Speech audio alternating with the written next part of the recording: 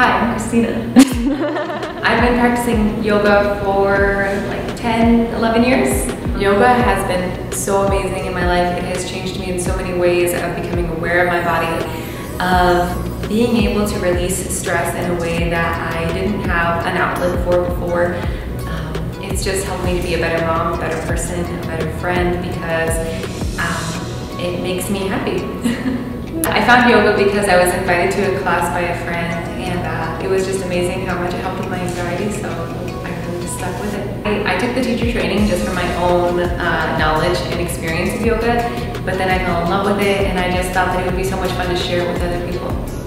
I am a realtor so I will help you buy or sell a house. I'm a mom. I have three kids. I have an eight-year-old daughter, a six-year-old daughter, and a two-year-old son. They're my world. They're the reason I do everything.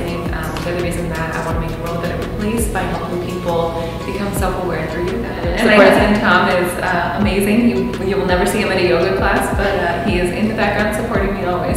um, my classes have tons of modifications, so you can really come to any of my classes at any level, and I will give you a variation to make it accessible for your body because yoga should be accessible to everybody. Oh my gosh, teaching has been such a blessing because I love my students. I love getting to know them. I love getting to see what their struggles are, what their wins are. Like we get to celebrate when they get to do something really cool. And I love, love to see when people come in and they don't have body awareness. And then after a couple classes, they start to be more aware of their body and how they're placing it. And you can just see that it's gonna change their lives.